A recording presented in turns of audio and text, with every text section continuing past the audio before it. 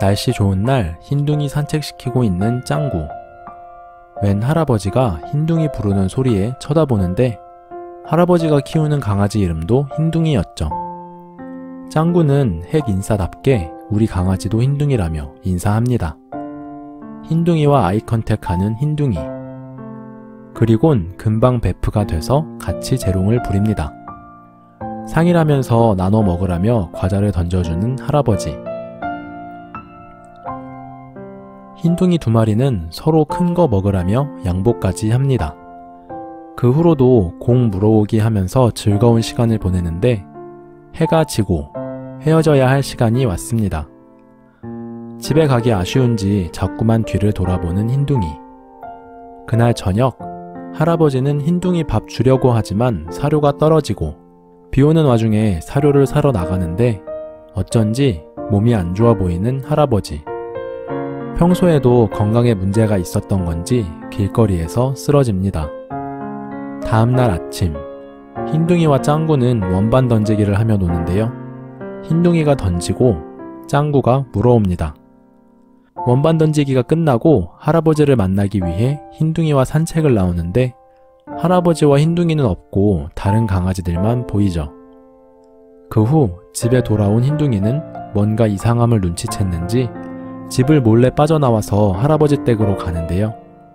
할아버지 없이 집에 혼자 쓰러져 있는 흰둥이를 보게 되죠.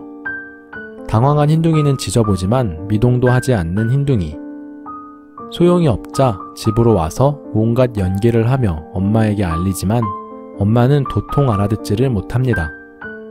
결국 흰둥이는 자신의 사료 그릇을 머리에 지고 달려가는데요. 신문 구멍을 통해 자신의 사료를 넣어줍니다. 할아버지의 흰둥이는 그렇게 하루 만에 밥을 먹게 되죠.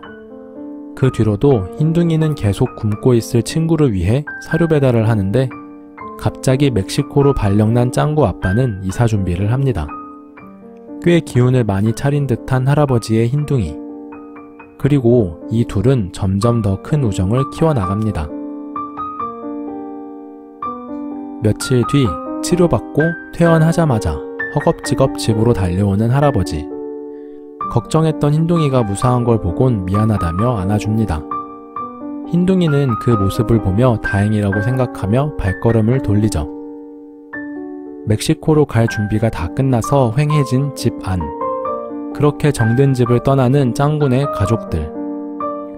흰둥이는 어쩐지 표정이 좋지 않습니다. 기차를 타고 공항을 가던 중 철수 목소리를 듣고 창문 열어달라고 하고 철수와 찐친 우정을 확인하며 감동 넘치는 이별을 하는 짱구. 그 뒤편에서는 우리의 흰둥이도 가슴 아픈 이별을 하고 있었네요. 아무도 몰랐던 또 하나의 이별 이야기였습니다. 시청해주셔서 감사합니다. 동키무비였습니다.